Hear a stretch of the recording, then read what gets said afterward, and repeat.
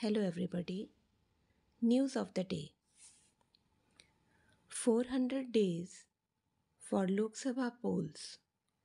2024 will be historic, said by Prime Minister Sri Narendra Modi. He told his party to do everything in people's service to create history.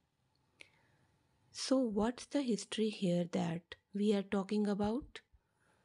Sri Narendra Modi has won two national polls in 2014 and 2019. Another win in the May 2024 elections will propel him into the big league as far as Indian Prime Ministers are concerned.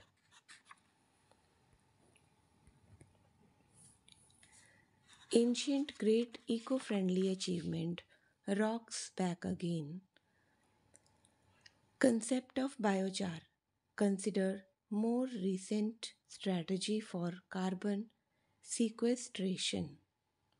Biochar is a black, highly porous, lightweight, fine grained, and 70% of its composition is carbon. Now, very innovative work is done. Plastic is burned with organic biomass to make biochar. It is a great organic product.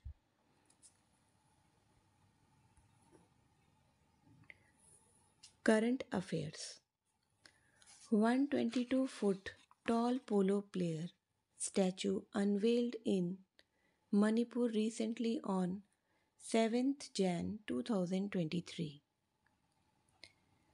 The Institute of Veterinary Biological Products IVBP located in Pune.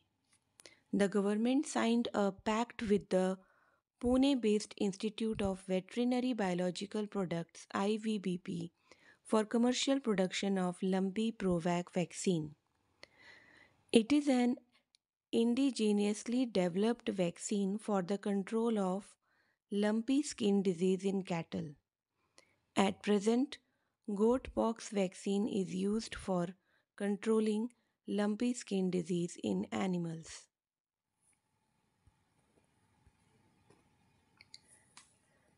As per recent UN survey, Arab has the highest unemployment rate in the world.